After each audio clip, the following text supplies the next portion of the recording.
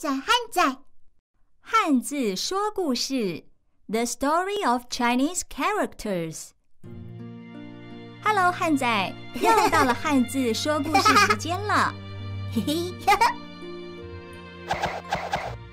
这一集要介绍的是“殃”这个字哦。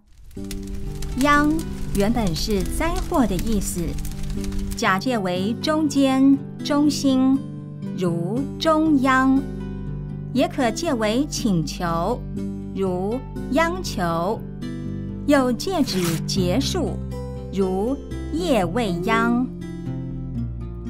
央字的甲骨文像犯人的脖子上带有坎形的器械组成，大是人的正面象形。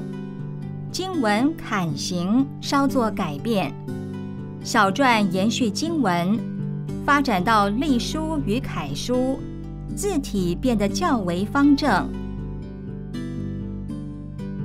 央还可以有这样的联想哦。殃字由歹和殃的读音组成，本意是灾祸，也可做动词，如殃及池鱼，就是无故被连累而受害。英字由草和秧的读音组成，原本是花的意思，如落英缤纷。引申为才能杰出的人，如英雄。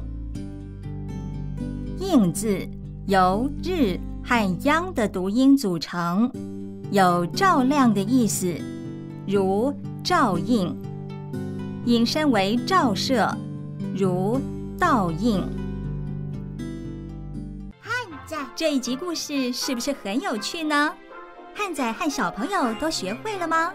我们下次见。